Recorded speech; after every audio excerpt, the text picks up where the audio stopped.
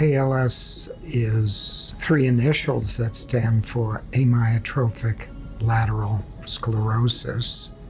It is the most common motor neuron disease, and sadly, we don't have any treatment.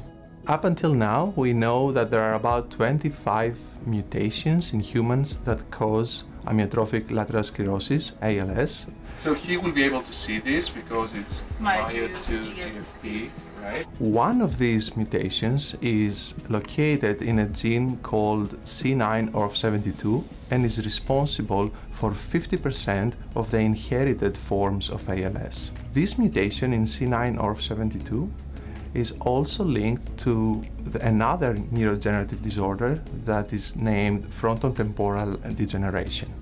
C9orf72 has a nucleotide repeat. Most individuals have 10 or maybe just a few more copies of this repeat.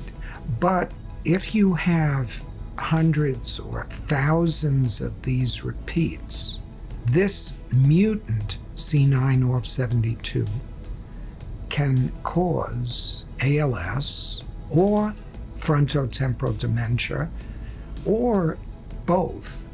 We believe in using a multidisciplinary approach. To study how these gene mutations cause ALS, we use three different models. We first start with a very simple invertebrate model, the nematode C. elegans, which has a, a very simple nervous system, but it is an ideal gene discovery tool. Repeat sequence was transfected into uh, cells and uh, C. elegans, and we made a cellular and in vivo model. By modeling the ALS in C. elegans, we were able to identify a gene called uh, EIF2D. We are looking for ways to test our discoveries in a more complex uh, central nervous system of mice. We uh, inactivated uh, this EIF2D gene in mice using CRISPR-Cas uh, method and then uh, expressed C9orf72 gene in the central nervous system of these mice uh, using a V vector. Uh, so our initial results are very promising as we see improvement in uh, motor defects of these mice due to inactivation of this EIF2D gene. We are uh, now looking at analyzing the central nervous system tissue of these mice, uh, looking for improvement in biochemical and pathological uh, ways.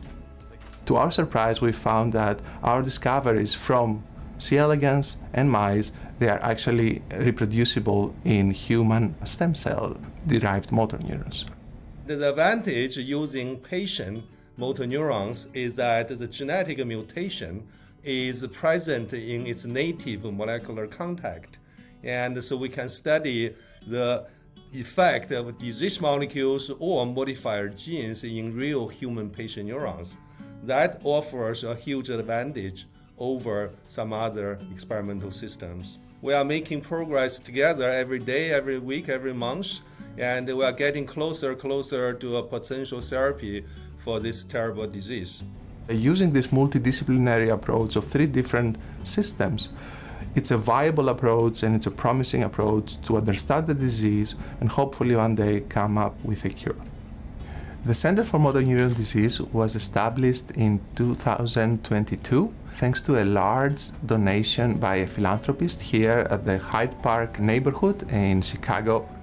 Our hope is that our support of the Center for Motor Neuron Disease will lead to outcomes related to enhanced prevention, potential treatments for ALS, the development of future motor neuron scientists through its outreach in Chicago area high schools and bringing in underrepresented audiences and future scientists to explore and learn more about both the research aspect and the prevention aspect of ALS research.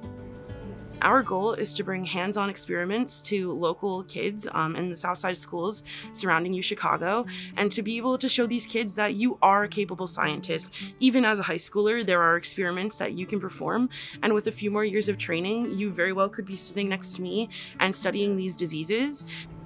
The era now is very much involving tools of molecular biology. And these tools are incredibly powerful and provide a way for us to knock down certain genes or modify certain genes in ways that nobody would have predicted 10 years ago. So it's a astonishing time that we live in with incredible, versatile, powerful tools.